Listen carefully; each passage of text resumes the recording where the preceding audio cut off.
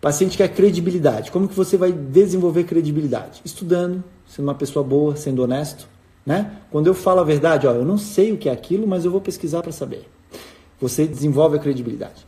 Agilidade. Você tem que ser uma pessoa ágil.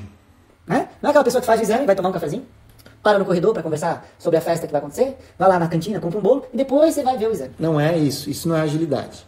Agilidade é você fazer o que é preciso ser feito da melhor forma possível e mais rápido possível. Tá bom? Então tem que ter agilidade. Tem que ter conveniência. Você tem que ser uma pessoa que tira obstáculos da frente, né? Sem custos extras. Né? A gente não pode inventar custos extras por causa, ah, vou te mandar um laudo, vou te cobrar mais tanto. Não. Tem que ser num contrato, tem que ser coisa clara, limpa.